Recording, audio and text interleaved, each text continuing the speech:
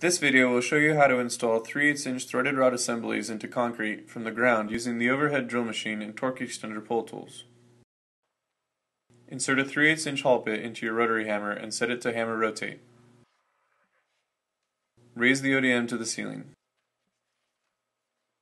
The ceiling probe will activate the trigger of the rotary hammer as it's pressed against the ceiling, leaving both hands free to stabilize the pole.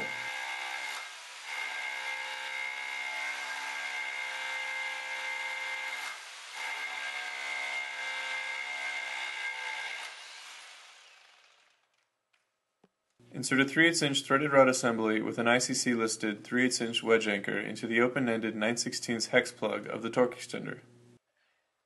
The open-ended socket plug allows the threaded rod to slide down the inside of the pole. Using a hammer, tap the bottom of the pole until the wedge anchor bottoms out on the concrete.